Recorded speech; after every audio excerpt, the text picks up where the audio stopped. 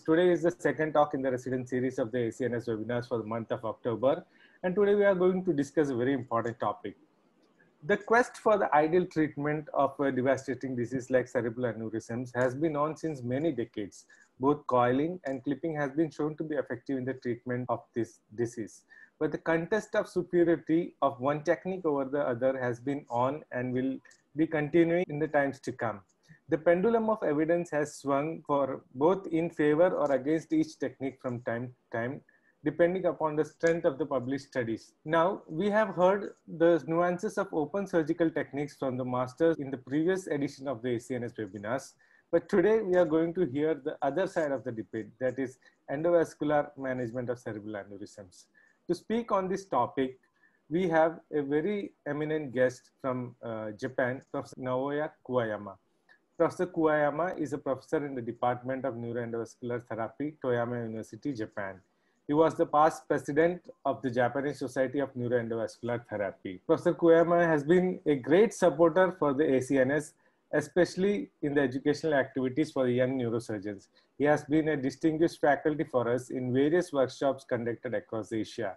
He is an avid researcher with many publications on endovascular techniques ac across all the leading journals in neurosurgery.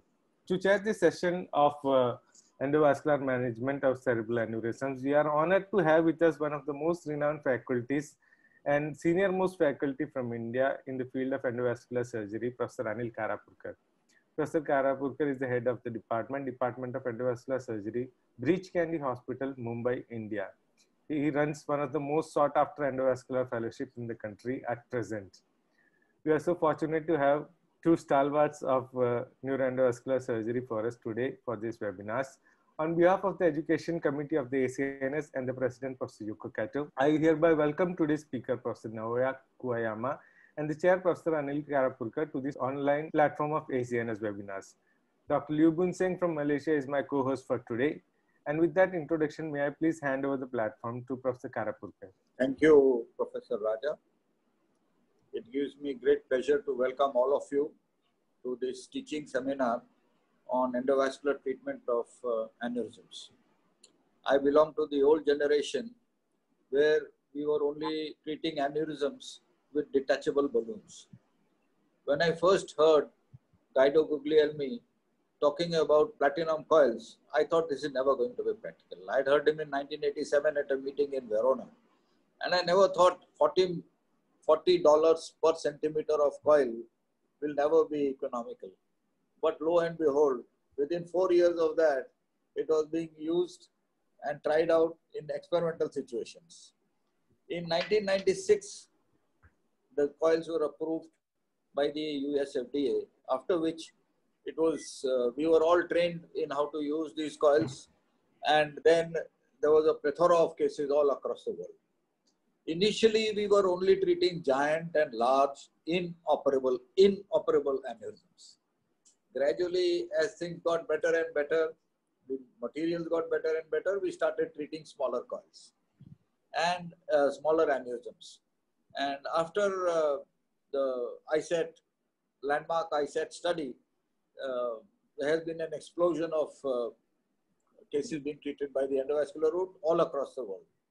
It was difficult. It has been a tough battle between the radiologists and the clinicians. But I think uh, eventually uh, it will eventually go, go, go down to the expertise of your center and your uh, wherewithal, what all, whatever you have available to you. So we started with giant aneurysms, then we came down to smaller aneurysm with a single balloon, then double balloon, then a single stent, then a double stent, then flow diverters, and now intrasaccular devices. I'm sure Professor Kuwayama is going to take us across the whole spectrum and show us some wonderful cases. So over to Professor Kuwayama for his talk on the endovascular treatment of aneurysms. Okay, thank you very much for introducing me. Okay, let's start.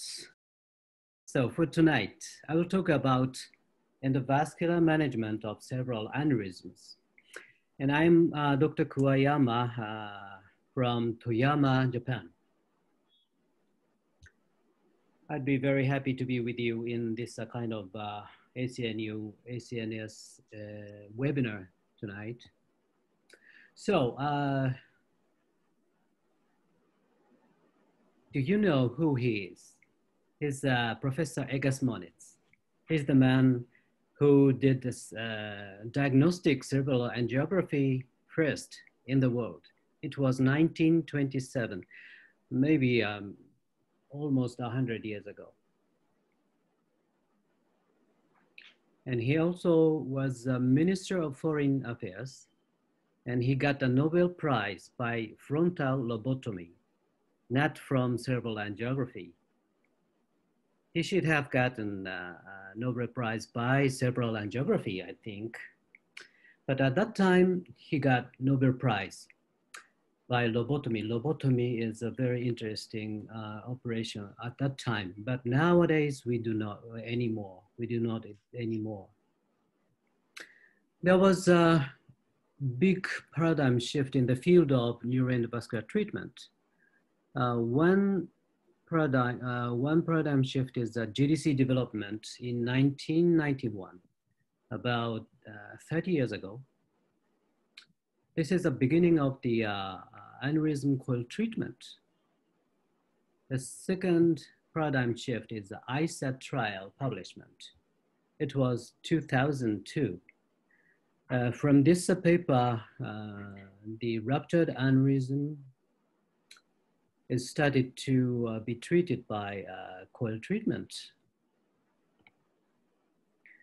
And this is a movie in my uh, university hospital. I usually use this uh, Zeego robotic arm angiography machine like this. And uh, this machine is setting, uh, set in a hybrid operation room. We can do uh, neuroendovascular treatment as well as uh, open surgery in this room.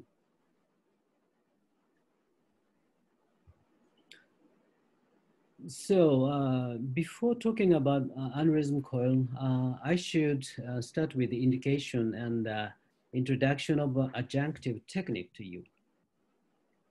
So what is the good aneurysm for coiling? Of course, small neck aneurysm is very suitable for coil treatment.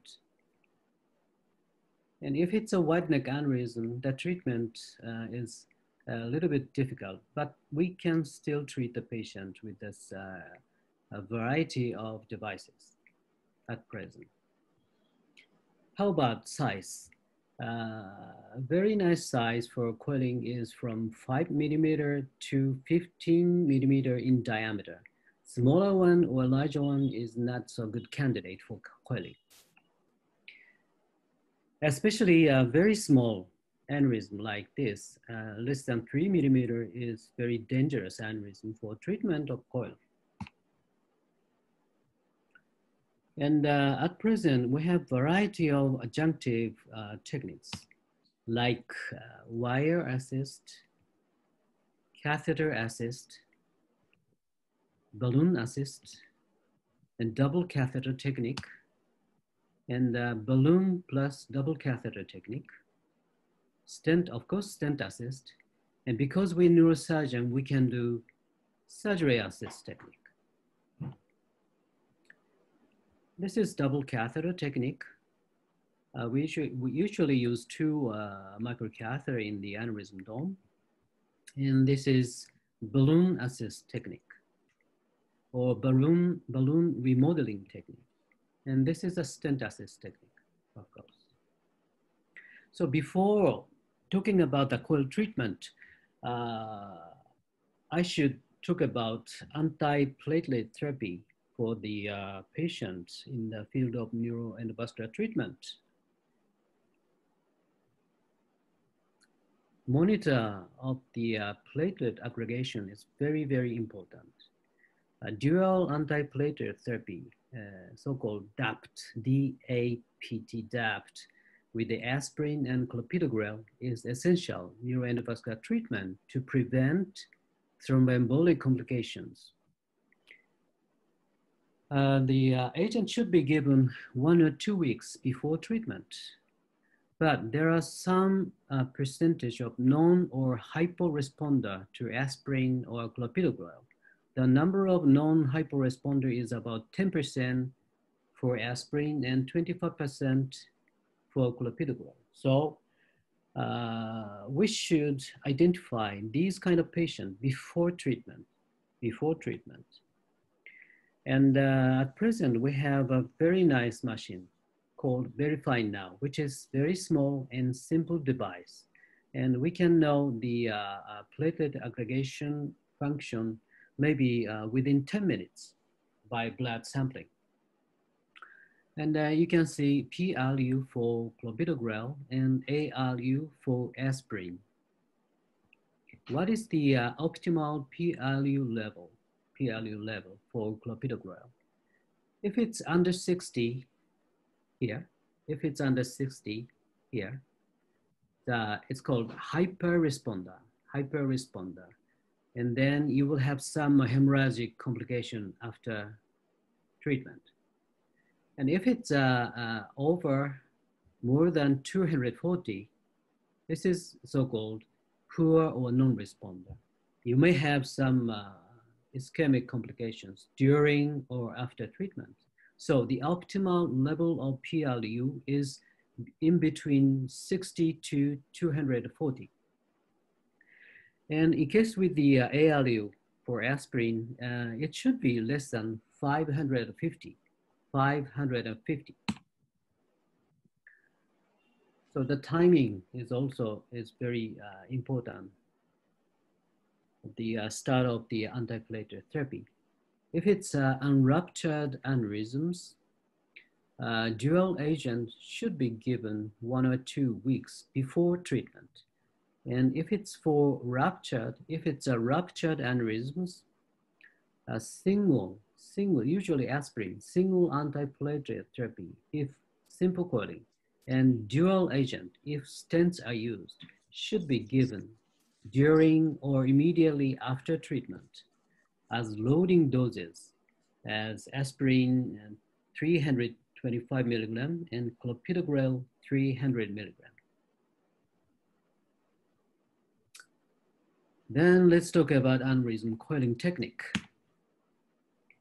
So we have to prepare the coiling before start coiling. Uh, as I told, as I told you before, dual antiplatelet therapy DAPT should be given one or two prior to treatment, one or two weeks prior to treatment. And uh, general anesthesia is recommended in order to immobilize the patient during treatment. And the biplane angio is, of course, uh, better than single arm. And at least uh, we need six French or larger guiding catheters for treatment. And uh, several lines should be prepared, like coil line or balloon line or stent line.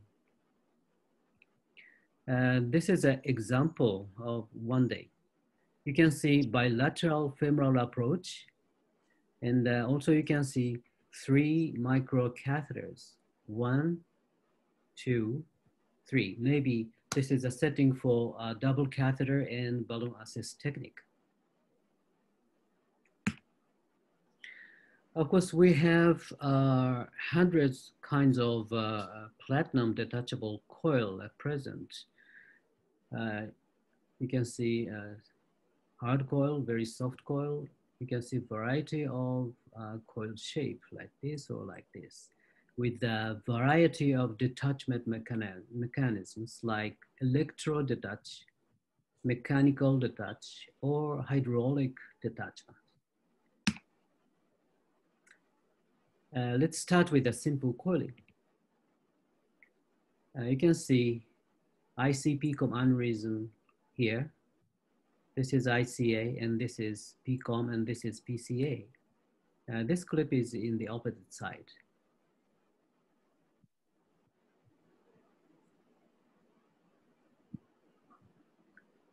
So you can see aneurysm neck right here. It's a very small neck, so this is a very good candidate for coiling. You can see balloon catheter here, And I'm sending one microcatheter to the dome and the second microcatheter to the dome. So this is a setting of the uh, double catheter and balloon assist technique, but in this very nice aneurysm, I used only one microcatheter, only one microcatheter as a simple technique. You can see very nice flaming coil, framing coil in the aneurysm dome. I do not use any balloon. I do not any second catheter. So one simple catheter can treat this kind of patients.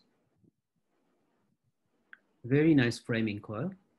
And I start filling. This is a final filling coil. You can see very dense packing of the uh. A final DSA.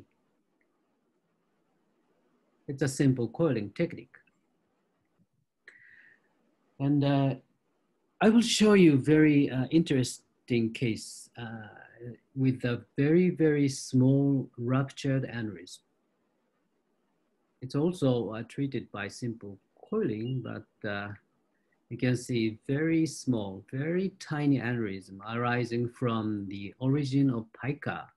This is vertebral artery, this is pica, and can you see this very small, tiny aneurysm? The size of aneurysm is one by two millimeter. This is ruptured aneurysm, ruptured. And this is a kind of a very high risk aneurysm for coiling. Very tiny, very tiny aneurysm. At first, I go with the balloon catheter for in case of rupture I will, I will uh, inflate the, this balloon for hemostasis. And the second catheter is going into the distal pica like here. And finally, the, uh, the catheter is going into the aneurysm sac. But you can see the tip of the microcatheter, that this is a tip of the microcatheter and uh, you, you cannot see any aneurysm dome. The size of the microcatheter and the dome is uh, same. It's very uh, risky situation. The tip of the catheter and the, you, you can see coiling coming out of the microcatheter, but the coiling is, is very unstable. The size of this coil is one millimeter by two centimeter length very small coil, but the, uh, the coil is very unstable. Sometimes it kick back to the parent vertebral artery.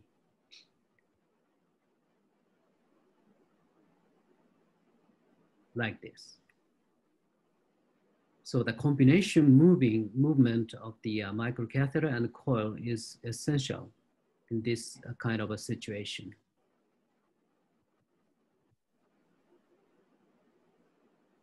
again, the coil is getting out of the uh, aneurysm dome. Then I restarted coiling. This is a third trial. And I push coil very, very slowly and very softly into the aneurysm dome and push the microcatheter towards the uh, aneurysm. And finally, I made a coiling in the dome of the aneurysms. Then detach. So this is a final view. You can see how difficult and how risky to treat this kind of a very small tiny aneurysm with coiling. The next is the catheter assist technique. You can see a large aneurysm arising from vertebral artery, but also you can see pica coming out of the aneurysm dome. So how can you treat this kind of treatment, this kind of uh, aneurysm? When you put coil, the coil will block the orifice of the pica. You have to preserve the orifice of the pica how can you do it? So my idea is to send the coil from the contralateral left vertebral artery to the uh, ipsilateral distal pica, like, like this, in cord line from the uh, right vertebral, making coil frame, and remove catheter. See, this is the coil, uh, no, uh, catheter assist technique. Okay, I will show you the case. Left vertebral artery, right vertebral artery. So I used bilateral femoral approach. And microline from the left vertebral artery. Then the uh, microcatheter is going to the ipsilateral uh, right side vertebral artery and finally going into the distal pica like this, guide wire into the distal pica and catheter is going distal side of the pica. Then I made uh, catheter assist by this line, by this line. And the cord line from the right vertebral and start making a framing coil. You can see the framing coil is blocked by this uh, catheter coming from the uh, left side vertebral artery. You can see the uh, orifice of the pica is well preserved by this microcatheter.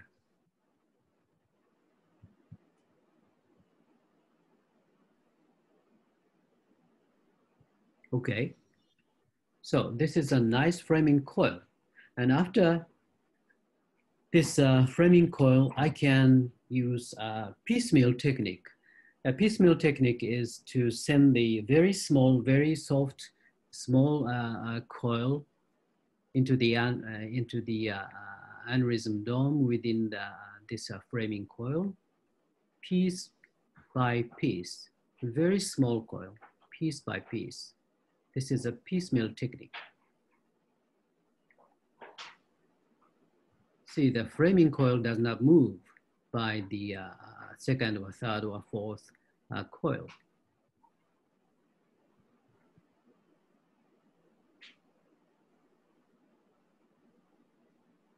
Maybe final coil.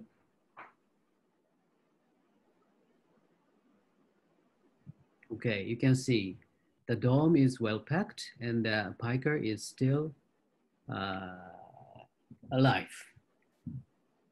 The orifice of the pica is well preserved.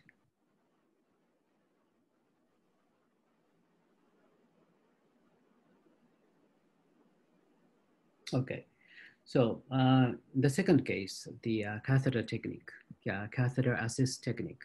You can see a small aneurysm arising from also pica this is a ruptured pica aneurysm, ruptured one.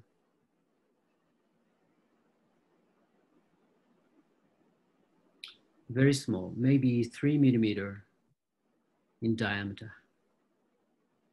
And I send the microcatheter into the aneurysm dome like this. This is a dome of the aneurysm. Now catheter tip is in the center of the dome. This is a distal pica. And I send the second catheter to the distal pica.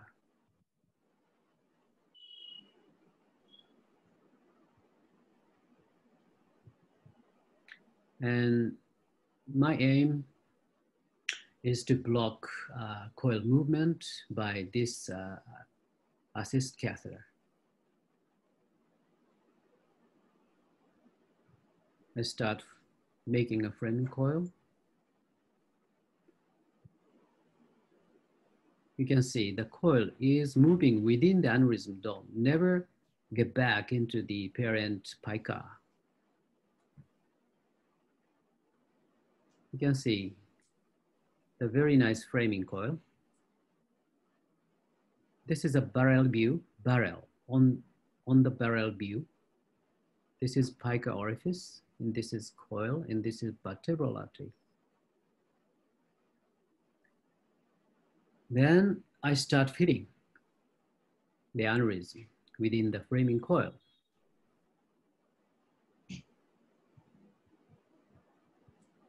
Very slowly and very softly.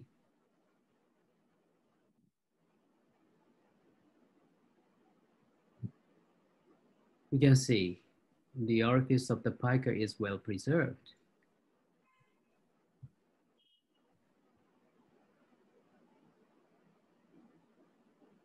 Remove the uh, cyst catheter and remove the coil catheter.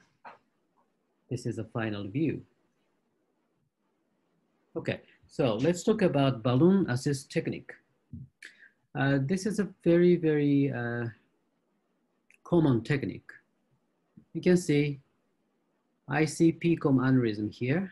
This is ICA, this is PCOM, posterior communicating artery, and this is PCA. And the aneurysm is very, very wide neck, wide neck.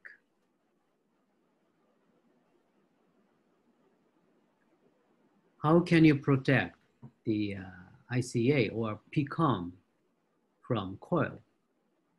This is balloon catheter, the distal ICA, and coil catheter into the dome. And start making a frame, but you can see the coil is herniating into the parent internal carotid artery. And then I inflate the balloon and you can see the movement of the coil here. The coil is well making a very nice framing coil within the sac of the aneurysm.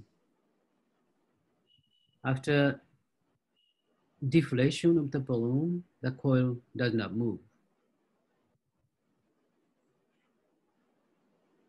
Then, during balloon inflation, I put uh, some other coils into the uh, framing coil. Also very slowly and very softly.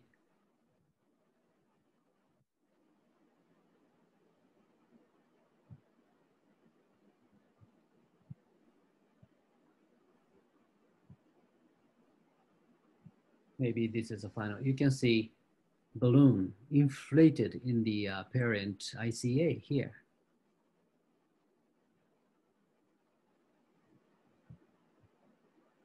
Okay, maybe that is a final coil. This is a final DSA.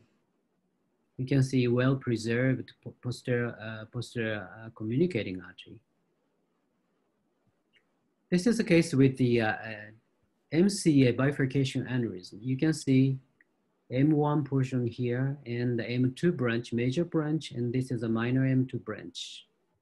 And you can see aneurysm here, just 4.6 millimeter in diameter.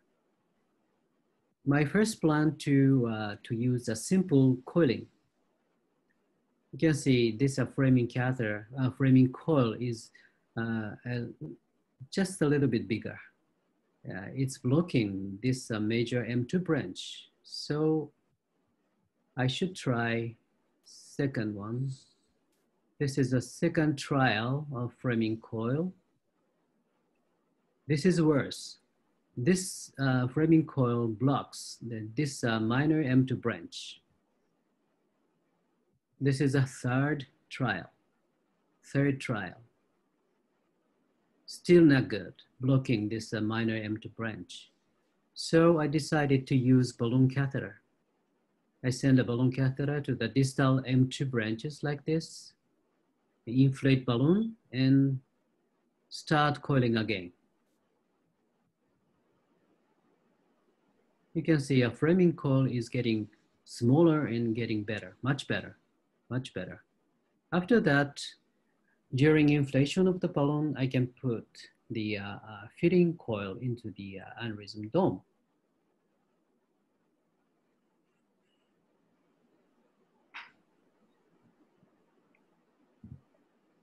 Okay. So I will show you a balloon plus double catheter technique. You can see aneurysm here and a very, very large PCOM, posterior communicating artery arising from the uh, aneurysm dome. How can you treat this kind of uh, aneurysm? Aneurysm here, here aneurysm, PCOM and a PCA. Aneurysm here, balloon catheter in the distal ICA and the double catheter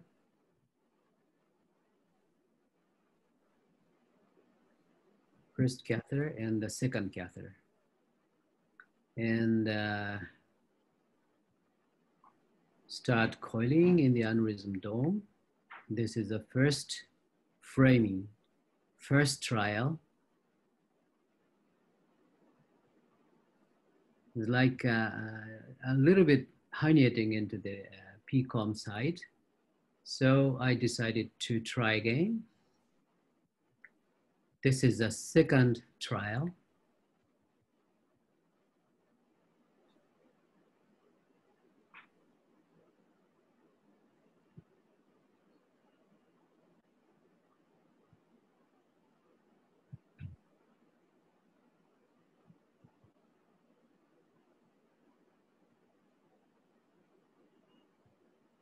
Okay, second trial. You can see this uh, two or three loops uh, block the uh, orifice of the posterior communicating artery. So the third trial also block the uh, posterior communicating artery. Then I inflate the balloon in front of the uh, aneurysm dome, neck, and started again. You can see smaller framing coil nicely preserved posterior communicating artery line. Rotation, rotation fluoroscopy, you can see clearly.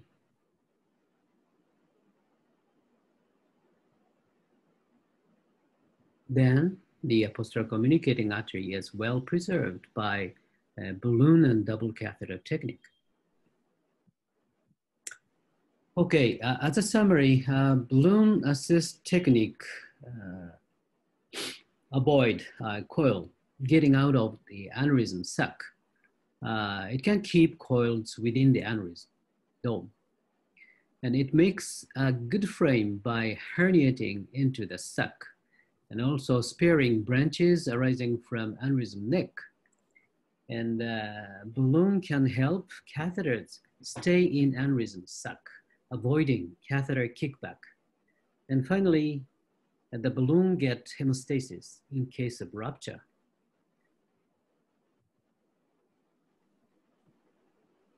So we can go to stent assist technique. At present, uh, we have two kinds of stent. One is laser cut stent and the other is uh, braided stent. And uh, in laser cut stent, uh, we have two kinds of laser cut stents in Japan. One is Enterprise 2 coming from Johnson & Johnson and the other is Neuroform Atlas stent coming from uh, Stryker. And uh, Enterprise stent is, uh, you can see, closed cell, closed cell stent and the Atlas stent is open cell. You can see open cell. You open cell stents. And the behavior of these stents are a little bit different. You can see uh, VA pica aneurysm here, about seven millimeter in diameter.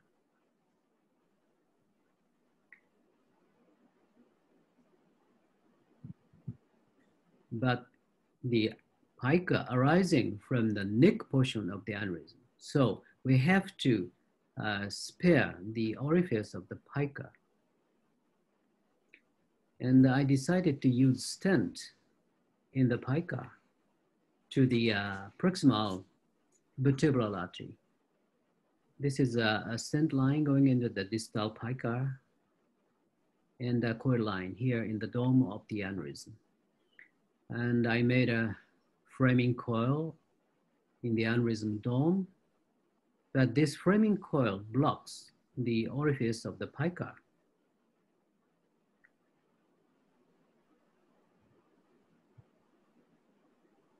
Here, this is an orifice of the pica blocked by a coil. And then this is a rotation fluoroscopy. Then I sent the stent into the uh, distal PCA and open up from pica to proximal BA. You can see the uh, orifice of the pica very clearly. Here, here is the uh, orifice of the pica. And after that, I can push uh, fitting coil into the aneurysm dome. Very simple. Maybe final coil. This is a final view. You can see very clearly the orifice of the pica in the orifice of the uh, aneurysm dome, aneurysm nick. So this is the uh, another case, ICA paraclinoid aneurysm arising uh, from here. The uh, diameter of the uh, aneurysm is about three to four millimeter. My uh, first plan is to use balloon assist technique. I'm sorry. Okay, my first plan is to use balloon assist technique. Balloon catheter into the distal ICA and coil line to the dome of the uh, aneurysm. Start flaming coil, start making a framing coil.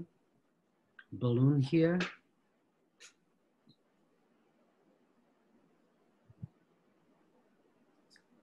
but the loop is herniating into the parent ICA. So I remake it.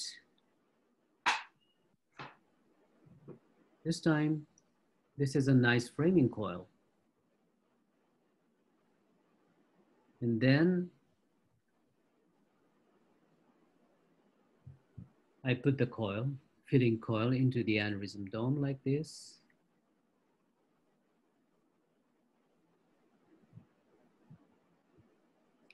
Fitting, fitting the dome like this. This is a final coil. Then this is a rotation fluoroscopy. You can see the dome of the aneurysm and the orifice of the aneurysm. And after inflating the balloon, I pull the coil line, pull the coil line. But you can see here, after deflation of the balloon, the coil, the tail of the coil, ah, came back to the parent ICA. You can see the tail of the coil here in the floating in the ICA. So I decided to use rescue stenting.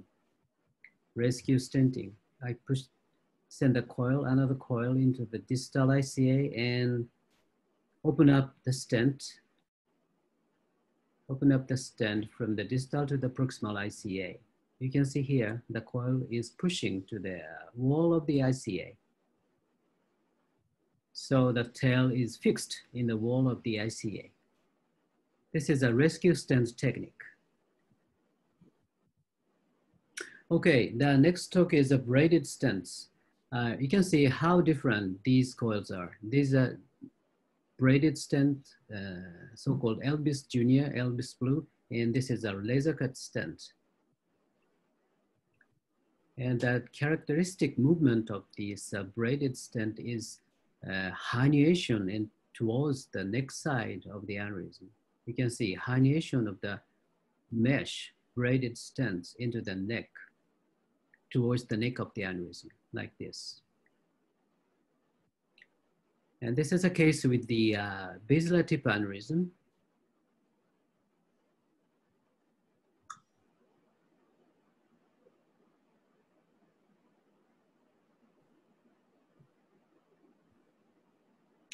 Sending a, a balloon catheter, the distal PCA, and this is a cord line. And uh, start with the two or three loops of coil and start deploying the stent from the distal part of the PCA to, this is the neck of the aneurysm. Then I push the catheter and stent like this. Push stent and catheter like this to herniate the stent mesh towards the aneurysm neck. You can see the stent is herniating towards the neck of the aneurysm.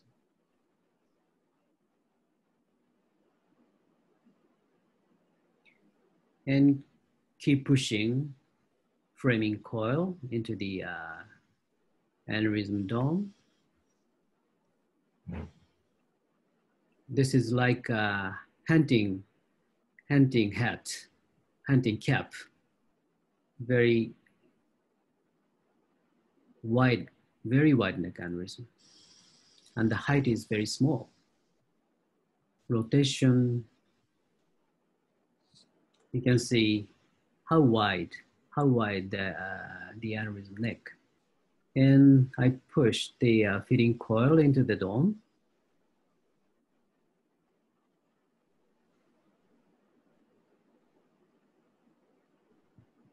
Okay, this is a final view. It's a complete occlusion of the aneurysm. I, I will never be, be able to uh, treat this kind of uh, patient without any stent, and this a braided stent. This is a, a vertebral artery fusiform aneurysm here. Maybe dissecting aneurysm, you can see pica here aneurysm here. There is some uh, indentation in the uh, proximal neck of the uh, aneurysm.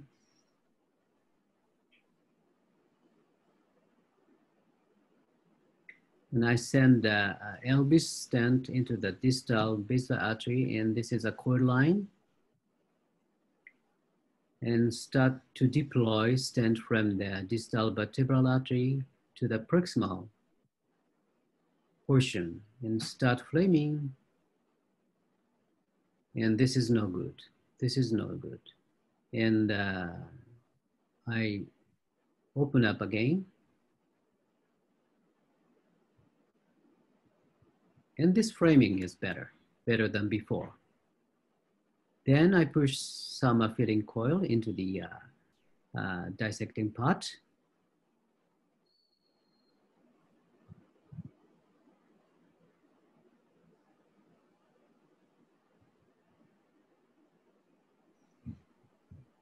Okay, this is a final view. You can see the very nice fitting of the aneurysm.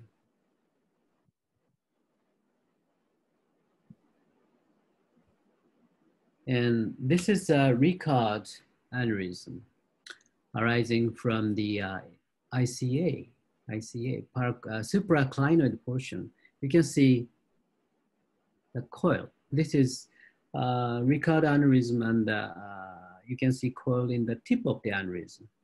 And the patient was referred to me. You can see very wide neck and the very uh, small coil here.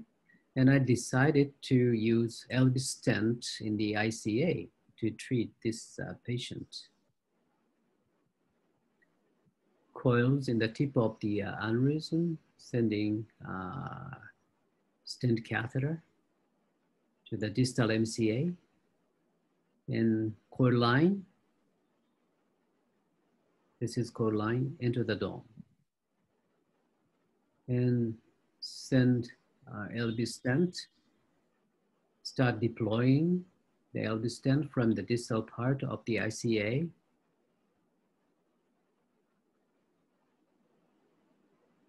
Just up to here. You can see a half jailed uh, stent here. Uh, the, uh, I like half jailing technique because uh, there is some uh, place for the uh, uh, microcatheter to move freely in the proximal part of the uh, parent artery.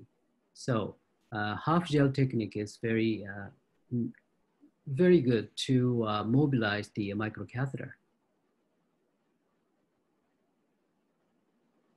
Let's start framing coil.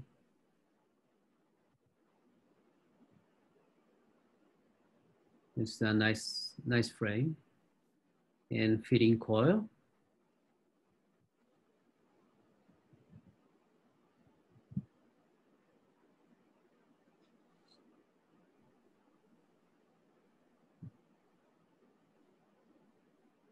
Right. And then I open up the stent at this timing, at this timing. You can see nicely placed LV stent and a nicely packed aneurysm here. Uh, this case is uh, uh, also dissecting vertebral artery aneurysm. You can see aneurysm here, uh, vertebral artery, small vertebral artery here, and pica. And I, this case is also treated by uh, LV stent. And I'm sending uh, stent line into the uh, distal basilar artery, but there is some uh, stenotic part here, so the uh, catheter is kicking. Finally, get into the uh, distal, distal part. And uh, this is a cord line.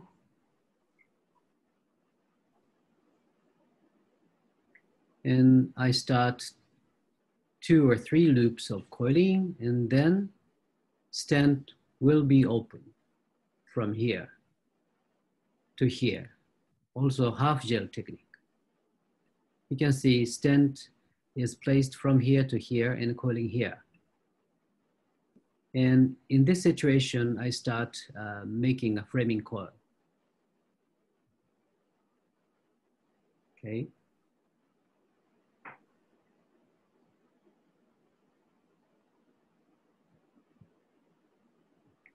You can see open vertebral artery here. This is a barrel view, barrel view.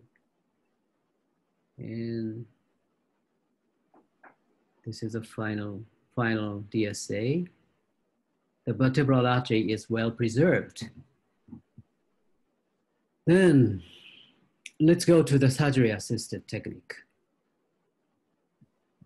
This is a Ricard ICA aneurysm. Because the patient has a very bad anatomy in the aortic arch, uh, we uh, could not get into the uh, patient carotid artery from the femoral line. So we decided to dissect patient neck, uh, direct uh, carotid puncture. Neck dissection.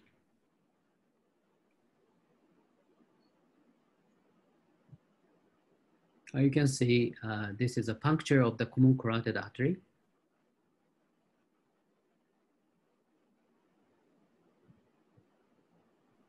You can see uh, skin tunnel here. Skin tunnel is very important to uh, stabilize the uh, uh catheter. And this is common carotid. So guiding sheath is getting into the uh, common carotid artery.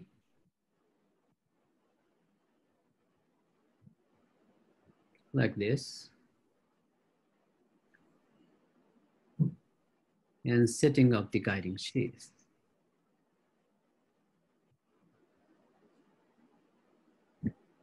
After this, the treatment is going as usual. This is aneurysm, packed coil, Ricard aneurysm. I go with the stent line to the distal ICA and the coil line here in the dome of the aneurysm and coiling coiling in the dawn and uh, stent is going into the distal part and uh, open up.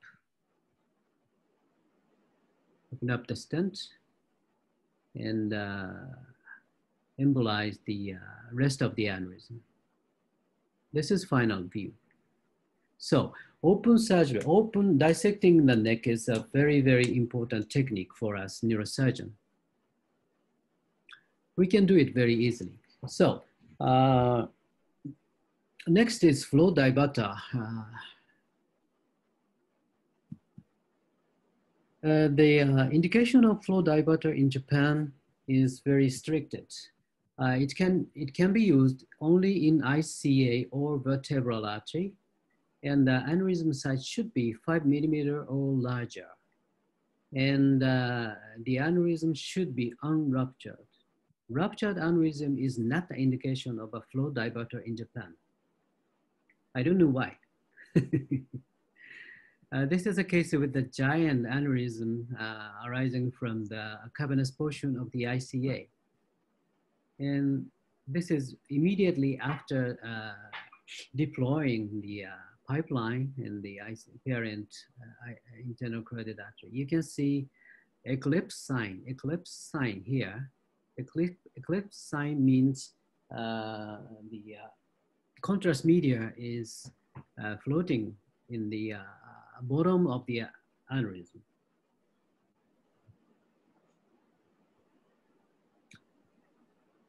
And this is uh, DSA uh, after one year. The aneurysm is gone. And this is pipeline. Another case, very huge aneurysm uh, causes patient diplopy. And also I dissect the neck because of the uh, bad uh, anatomy of the aortic arch This is the same neck dissection, common carotid artery, insertion of the guiding sheath.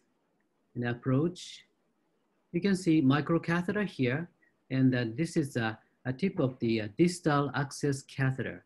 In the pipeline treatment, microcatheter and distal access catheter, these catheters combination movement is very important to open up the uh, pipeline. Otherwise, you cannot open the pipeline. It's very difficult. It's very difficult to open the pipeline. The pipeline is opening here. This is the tip of the microcatheter.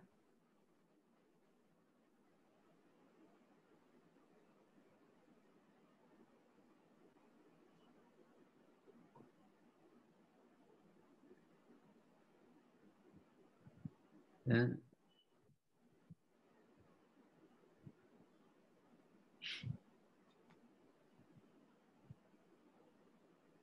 okay, I'm doing balloon stent plasty, balloon stent plasty to get the uh, uh, very tight apposition of the stent and the vessel wall. This is a very essential technique when you do a pipeline flow diverter treatment. And this is final view. You can see stent from here up to here. final view, you also see can see uh, eclipse sign. And this is four months later, and this is a DSA one year later. The aneurysm is gone. So this is the treatment which uh, I treated uh, last week. Uh, this is a ruptured aneurysm. In Japan, ruptured aneurysm is not the indication of flow diverter. So I have to do coding for this patient at first.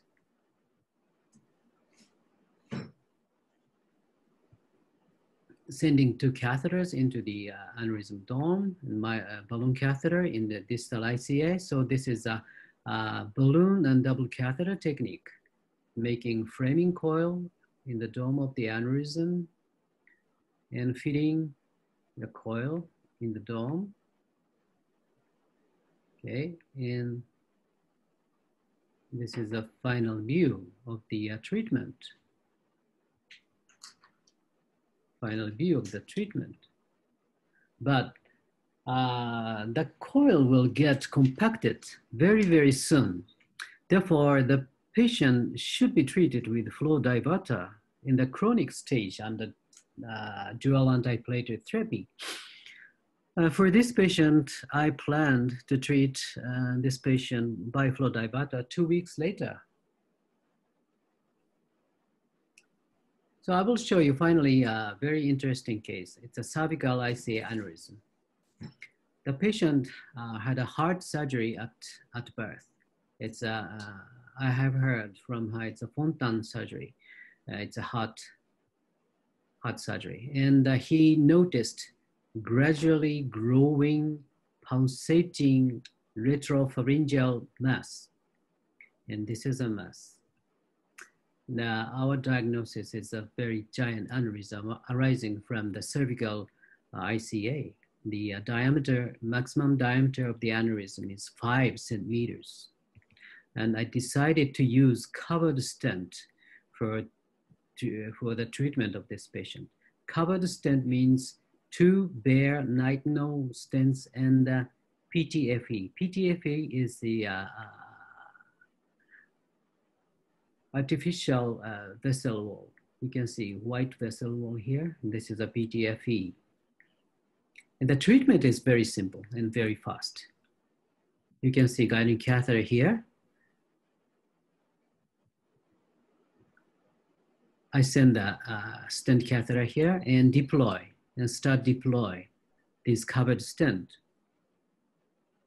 From here, and gradually the stent is opening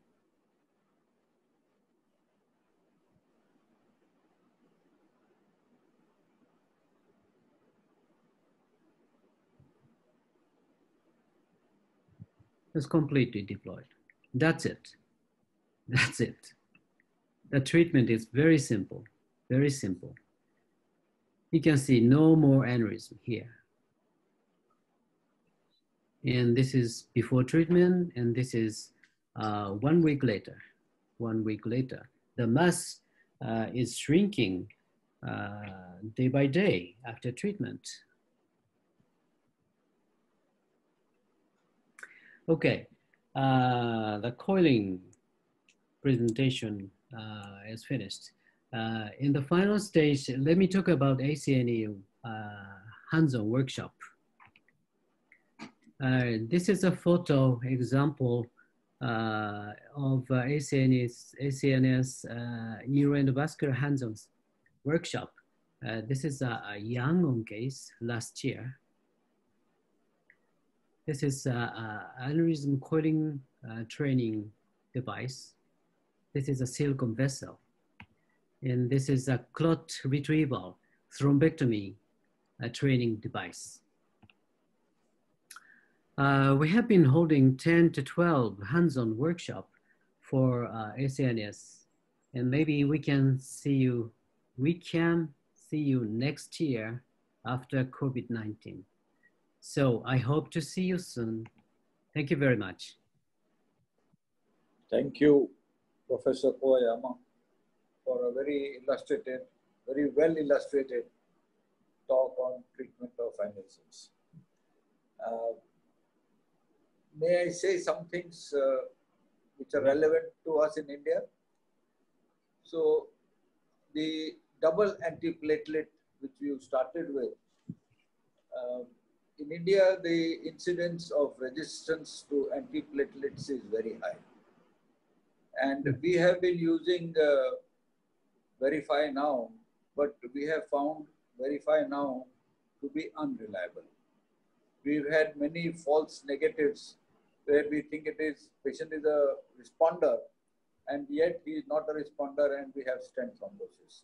So now we rely more and more on direct platelet aggregation test which our pathology uh, laboratory is doing for us. So, we, so they actually see the clot retraction time and see how much the antiplatelet suppression is reliable. So we, if we find that the antiplatelet suppression is not adequate, have to double the dose.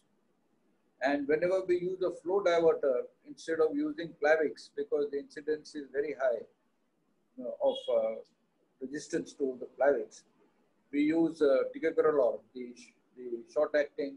Uh, ticagrelor, I yes, see. Yes. So we use a smaller dose of aspirin. We use 75 milligrams of aspirin, and we use 90 milligrams twice daily of ticagrelor in a in a mm -hmm. patient, or maybe 60 milligrams. Uh, we have found. I don't know whether you have the pipeline shield available. With the pipeline Pipeline shield. Yeah, yes. of course we have it. Yeah. So there we can reduce the dose of uh, uh, ticagrelor and we give 60 milligrams when we are using uh, the pipeline uh, sheet. Or uh, can you use uh, uh, Prasugrel? Prasugrel? Yes, in fact, many of, my, Mm. Yes, my, many of my colleagues uh, like to use Prasugrel, but I'm not very happy using Prasugrel, and most of us in Western India use uh, tic- Ticagrelor. But Okay. in South India, Dr. Santosh Joseph, who has a huge number of cases, also in the north and in Delhi, the two or three guys who do large numbers, they all use Prasugrel. Mhm. But in West, So Western in Japan, India, yes, in Japan, ticagrelor is not available, okay, unfortunately. So uh, we can use Prasugrel instead of uh, uh, clopidogrel for the uh, uh, clopidogrel hypo or non-responder. The percentage of the uh, no, hyper-responder of, to the uh, uh, uh, to that agent is very small in number. okay. Mm. The second thing I wanted to say was uh, when we are doing simple coiling, usually we do not use antiplatelet. Hmm? I'm You sorry. said when we are doing simple coiling, we do not use coiling? yes, we do not use any antiplatelet. Antiplatelet. yeah, I use only one, only one antiplatelet. yes, but we prefer Aspirin, one clopidogrel. Okay. And for At how long do you One agent will be needed. for how long do you use it? Maybe three months. Three. Hmm. So we have not been using for simple coiling. We have been using only when we have we think that we will need to use uh, the Mhm. a Okay. Yes. Mm. Uh, you showed a very nice technique of uh, getting the stent to herniate, the braided Yeah. stent to herniate into the neck of the aneurysm. Uh-huh. think That's that a very uh, nice yeah. technique. Yeah. That, that is a very nice technique, I think. Mhm. So for those of us who are young and who are starting, I think uh, this is a very nice technique to follow. Mhm. And uh, you showed a very nice case of covered stent. This covered stent uh, that you have shown is a self-expanding covered stent. Yes. But but you also get balloon-mounted covered stents, and those can be used in the cervical ICA fairly easily. Uh, but if it's it very to- dangerous to, use the Yes. uh, balloon expandable uh, covered stents. Yes. Uh, uh, now they are available, but I, I don't Still- like it. 15 Uh, years ago we didn't have such a self-expanding covered It stents. has some risk only- to yeah. damage the apparent artery by Yes. balloon inflating. Yes. yes. Mm. Have you done any? self- self-expanding stent is very safe. Yeah, it is. It is no question. Yeah. Mm. Have you used any any uh, Y stenting or X stenting, as they say? Oh yes, yes. Y stenting in the uh, basilar tip aneurysm and X stenting in the ACOM aneurysm. X stent is uh, from A1, uh, from A2 to A1, and uh, another stent in the uh, uh, opposite side A2 and ipsilateral A1 segment. Left A1 to left A2 and right A1 to right. A2. Yeah. Mm. Left A1 to right A1 and uh, left Mm. A1 to Mm. A2 and right A1 to right A2. Right, Yeah. right. Like uh, That is. But uh, Uh, sometimes it, uh, it's associated with uh, uh, thromboembolic complication. Oh, so we yeah. have to be very careful about it. We sometimes do use, we in India do use, uh, I'm sure in many other countries in the Asia Pacific area also, uh, we do use the stent in the acute, the flow diverter in the acute situation. In Mhm. that case, uh, there are some who prime the patient by giving ticagrelor or prasugrel and aspirin a few hours before we start. The advantage of ticagrelor is it acts within two hours. So we can just give it during induction. Oh, is it? acts, yes. That's the Ah. advantage of ticagrelor. It acts very fast. Uh, it's very So- nice. So you can give it during induction, and uh, by the time you're, you deploy the stent, it has acted. Mhm. So I think that is, uh, yeah. So Okay, thank you very much. some people use the uh, ticagrelor, I mean, they prime the patient. Mhm. Some people don't prime the patient. They put a right tube. Through the right tube, they give the uh, aspirin and the ticagrelor or whatever. And they also use GP2B3A inhibitors, a small dose. Ah, Have you had ever? BPA. Ah, We, we, also, we don't have it in Japan. oh, okay. yeah, unfortunately. Mm. So sometimes we have, uh, we have done that. We also. can we can use it intra-arterial use it, right? Yes, yes. Yes, we give it. Intraarterial injection. A bolus is given intra-arterial, and then it can be given as an intravenous infusion over the next six hours. Mm, mm. If there is a thrombus formation inside, I think is- we uh, is- absolutely need it. it is very effective when there is a thrombus inside a. Yes, yes, I know, I know, but uh, it's not available. Oh, oh. So how do you how do you how do you manage then if a patient gets a thrombus inside a stent? Uh, we can use uh, mm, some kind of uh, antiplatelet uh, intravenous injection. Aspirin is the only it one. will not be available in uh, foreign country, only in Japan. Aspirin is the only intravenous antiplatelet. No, we have no aspirin in- injection. Aspirin no. is only for oral intake. I think in Australia they have uh, aspirin injection. I Somebody see. can correct me if I'm mistaken. So I the drug, can. drug circumstances is very bad in Japan. Yeah, I know your Mm. your FDA is probably even stronger than the. The government is very strict. no, your, your, your, your Japanese FDA is very, very strict. I Mm. know because I, I have been interacting with uh, uh, the senior Japanese uh, interventionist for many years. Yeah, your, your situation is very tough. Okay. But but on the other hand, once you get your, uh, there is no limit to what you can do. That's very good. So uh, you've shown some wonderful cases.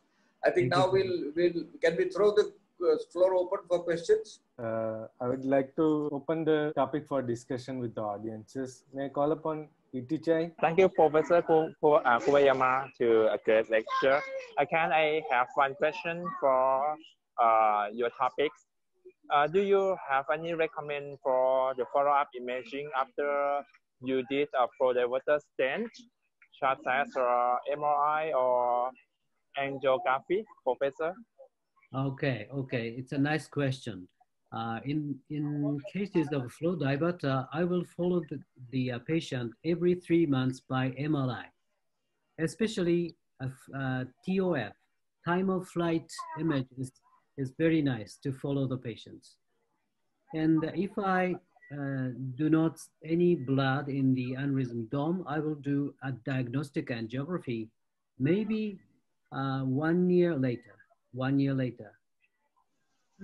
And Yeah, do yeah. you have some problem about the the uh, the not clear imaging for TOF uh, for from the stent interfere about the signal of the aneurysm will uh, is uh, obliterated or not because in, in some time it's really difficult to interpret by MRA because the the scatter Do you of the do you stent use TOF image? yes yes TOF We can see very clearly uh, intra clearly. aneurysmal Ah. uh, blood flow in the uh, image of TOF. ah okay Mm. I see thank you Mm. professor May I add something? Okay. Yeah, please. For a giant aneurysm, one must do an MRA because you may not see what is happening inside on the MRA, but what is happening outside you don't see on a DSA. So in a giant aneurysm, one must do both. You one must do a, a DSA as well as an MRI until one can see the aneurysm shrinking. Because sometimes the aneurysm may grow. Oh So yes, yes. you- Yeah, Yes. Mhm. So usually when we do a giant aneurysm and we use a flow diverter, we give the patient anti-inflammatory drugs, uh, diclofenac as a patch, and we give steroids for about a week or so. For a giant aneurysm where there is going to be a large thrombus load, we give uh, steroids and anti-inflammatory for about two months. And of course, follow up on MRI and DSA both. Yeah, thank you for those nice comments. Uh, about these giant aneurysms, I would just like to ask uh, both the chair as well as the speaker, Professor Kuwayama, is that uh, these giant aneurysms uh, grow and they develop their own blood supply on the walls of these aneurysms, and they often bleed into these cavities and uh, rebleed also. That is why we have different stages of blood when you take an MRI for these giant aneurysms.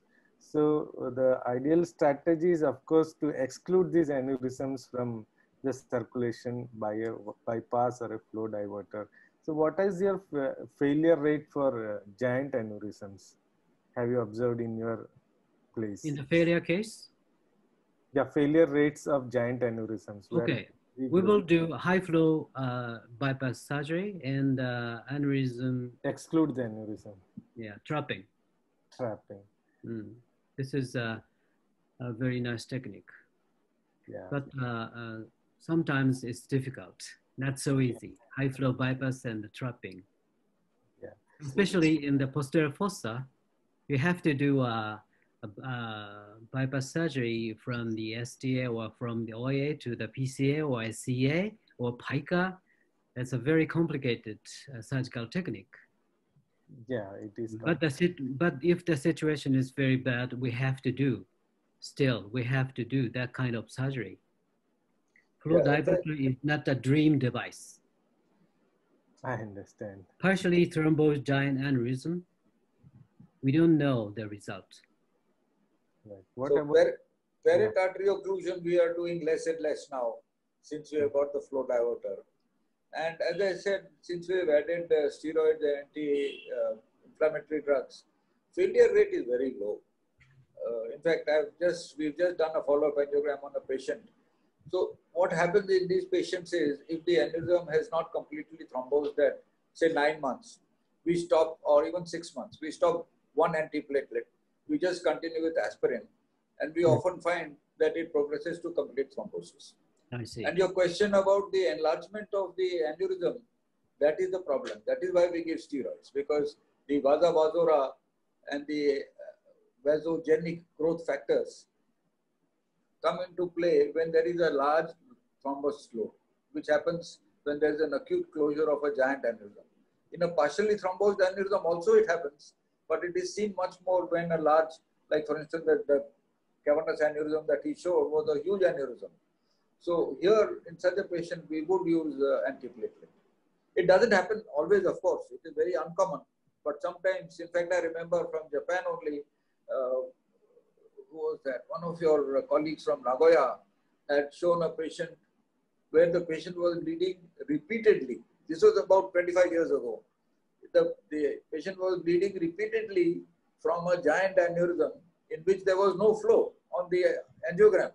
The hmm. aneurysm was not seen, but the aneurysm was still enlarging and still bleeding. So, in fact, we started using the steroids and anti-inflammatory drugs after that, after that mm. uh, present, presentation. It's a kind of a vasa vasorum. Yeah. yeah, Uh, feeding artery from the another vessel to the aneurysm wall. Right. Yes, my friend Liu.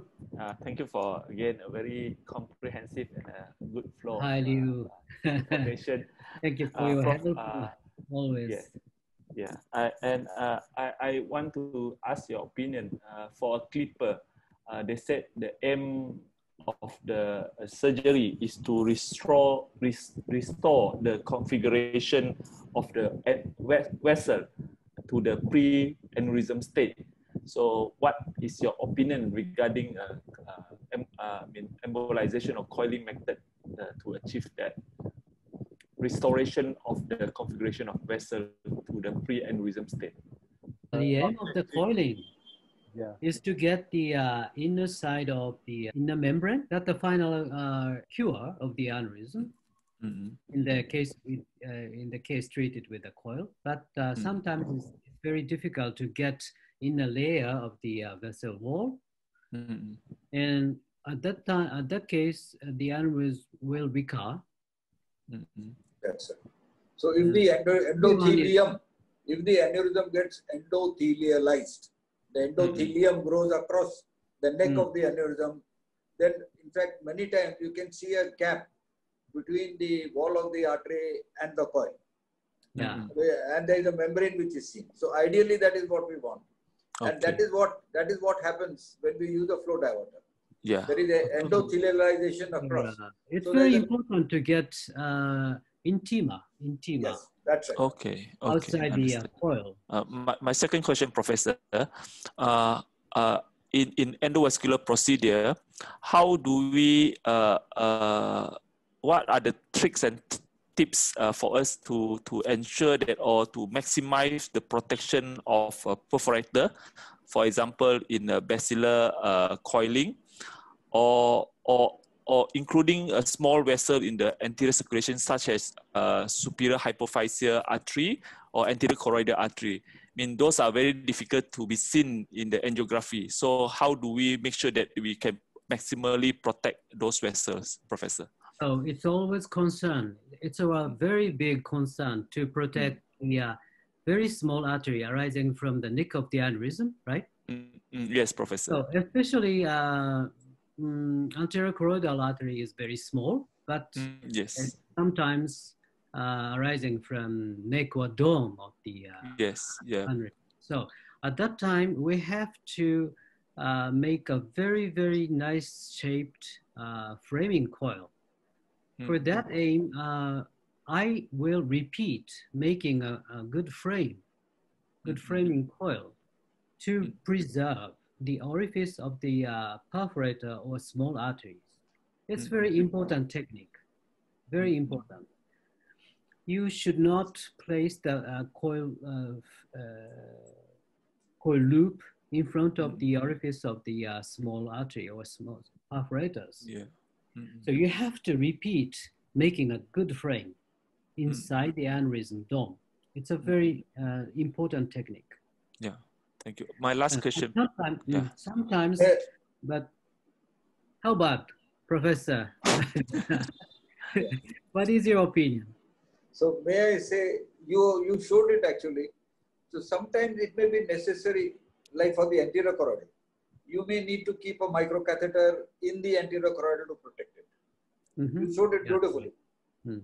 But you can't do that for a, for, for instance, the artery of Heubner. Mm. Artery of Heubner, you cannot do that. So you have to be very careful, as he says, to stay within the aneurysm. And rarely we leave a part of the aneurysm behind. Like when you clip, sometimes you, you leave a leave, leave, leave uh, the part of the neck behind.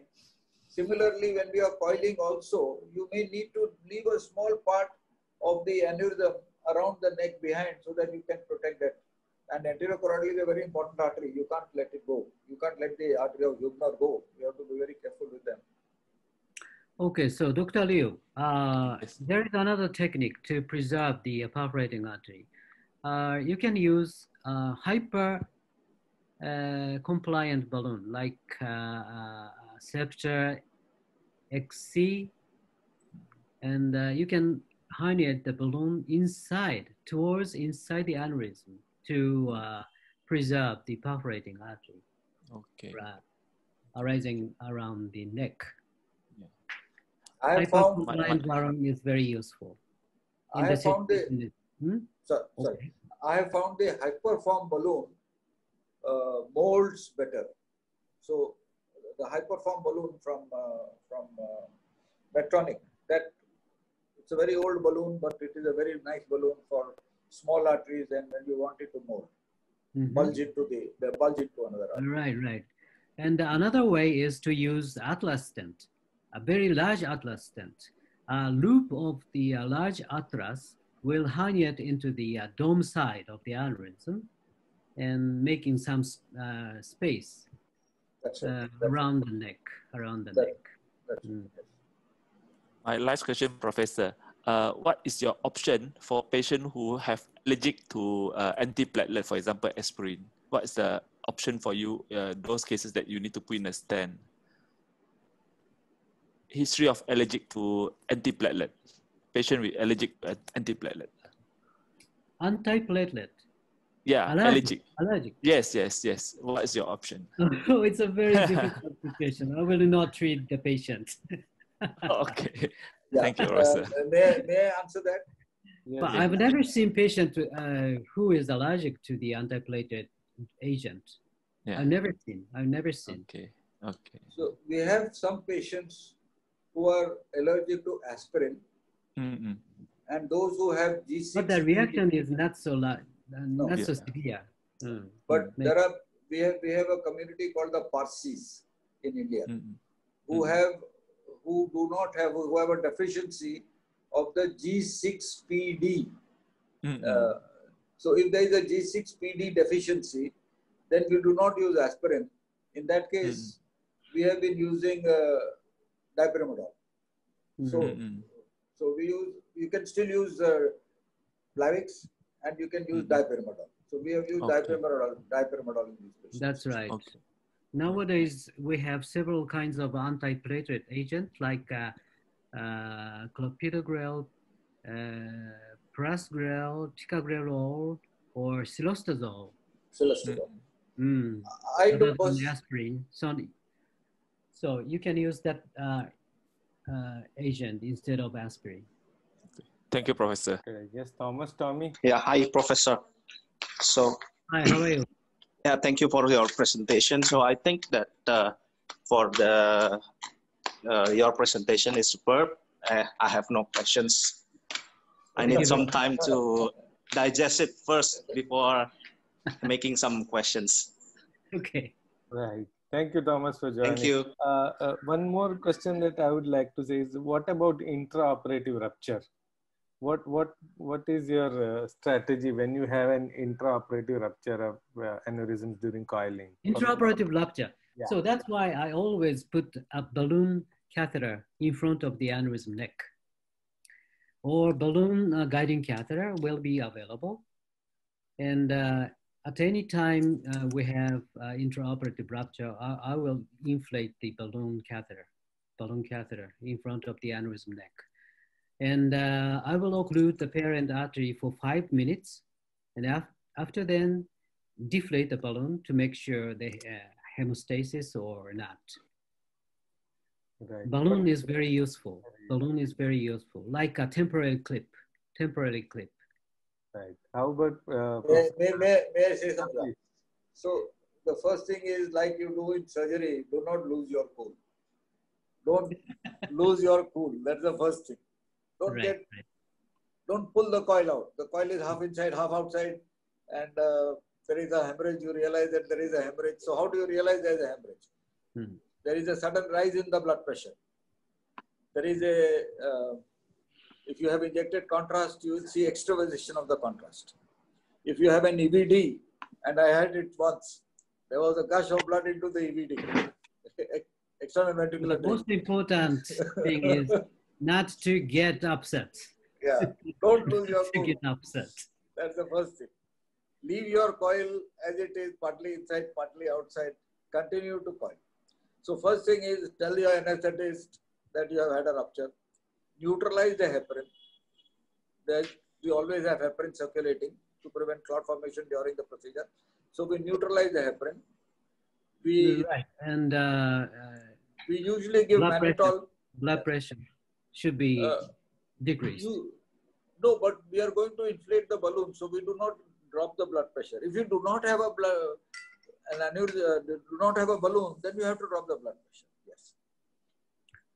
We give mannitol. We run in mannitol 100 ml, and uh, as if we have a balloon there, inflate the balloon. If we do not have a balloon, then you have to quickly prepare a balloon. You have to move it in very quickly. So there again, we continue to coil. Supposing you do not have a balloon, you continue to coil and try and work as quickly as possible to get as many coils in, inside so that you close the hole in the artery. If it is a Hmm. small small hole caused by the coil, it is easy. But a hole caused by the catheter is big. Then it takes much more time to close that hole. So, you, and it happens. Right? It happens with everybody. It has it has happened with me. I'm sure it has happened with most people. So your first thing is not to lose your cool. Inflate the balloon as he said. Set the timer. Do not exceed the five minutes. If it is the big artery like the internal carotid, you can even occlude for 10 minutes. There's no problem. But a small artery like the M1, like the basilar, like the P- PCOM, ACOM, there you have to not more than five minutes. Deflate the balloon. Let the brain breathe. Re-inflate. May I, may I add one more? Yeah, please. Please. especially for trainees, there are now simulators which are available. Hmm. Simulator. So you can deploy a coil as you would in a patient, except that you are now doing it virtually. So many companies have these simulators positioned in different cities. And if you ask, you can go to their centers, training centers, and play around and learn for yourself how to catheterize, how to deploy a coil, what happens if you perforate. You can see all that when you are doing this simulation. Right. That is a great learning experience. And especially as Professor Kuwayama showed, he is a, a great supporter for ACNS education. And uh, last time we met in Phuket, he was there along with uh, Oshima Tomotaka, who had these very beautiful simulators there, supported by Mentice. Mm-hmm. Isn't that? The company was Mentice, if I remember it right.